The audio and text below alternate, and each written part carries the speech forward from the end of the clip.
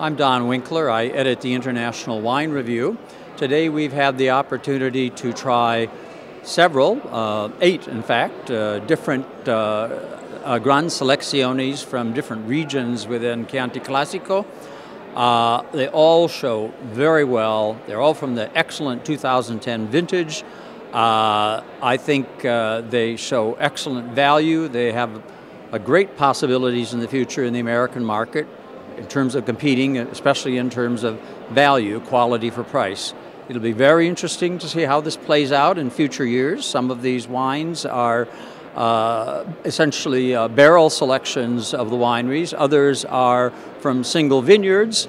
Um, and we'll see what happens in the future in terms of the uh, of the different different uh, producing uh, houses and, and whether they eventually go to producing mostly single vineyard Gran Selezioni. But it's obvious that the average quality here is very high and has excellent potential in the American market. Thank you.